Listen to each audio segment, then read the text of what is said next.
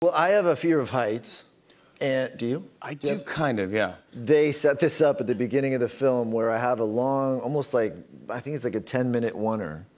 And I go, I'm talking to people on set, and then I go up in an elevator, and we go up 12 stories. And then they drop me 12 stories at the end of the take.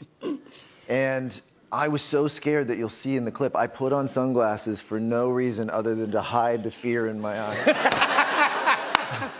see if you can see the fear of Ryan Gosling, everyone. Here is the fall guy. Take a look. Imagine that.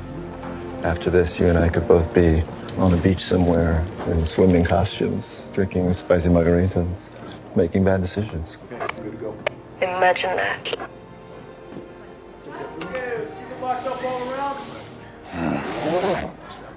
Everyone quiet, please.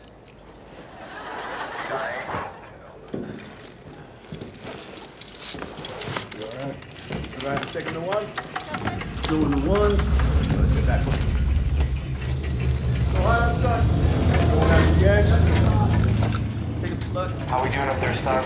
Great, great. Here we go. Position down. Is that ones? Ready to drop the line for me? And three, two, one. Action! Action! Action! Action! Action! Oh my God! Buddy!